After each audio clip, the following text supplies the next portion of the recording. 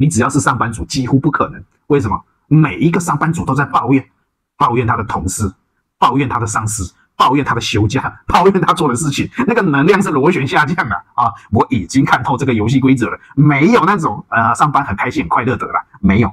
啊，有有的话是装的，大部分的人都想着要离职，然后又办不到，所以他们也不去实践。实践什么？比如说，我想要离职啊，离职我需要多少薪水才能够撑住我现在的所有的支出，然后再往回推，每个月的月收入要多少啊？一年要赚多少？然后投资什么才有这个可能性？那我应该去尝试什么？然后他们都会很怕失败。这个是跟学校教育其实有一点关系的啊，总是怕失败的时候，这个赔光，那个赔光，最后什么都没有事，然后最后结结局就是说，所有的可能都是在自己的大脑里运作，偏偏我们大部分的人只看手机，手机里面的内容，嘿，不一定是真的。我是觉得纸本的教学反而会比较好一点，我是看纸本，又看 YouTube 的教学之后，把它融合起来，你就会。